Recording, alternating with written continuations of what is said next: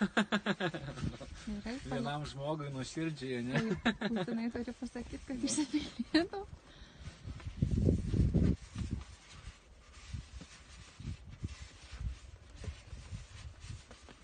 Tavo noras nori pabėgti.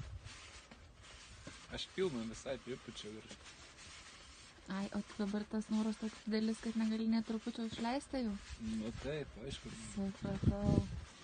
Tada labai atsakinga.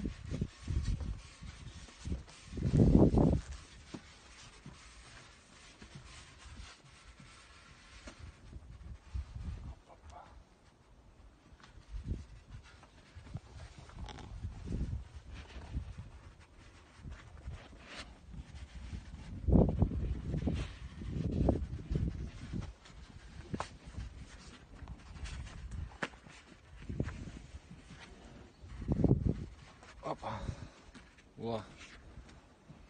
Jis sugalvos ir paleisk. Nenubaus mūsų už šiukšlinį. ne, šiandien tau visos teisės. Gali rėkti net. Super. Super.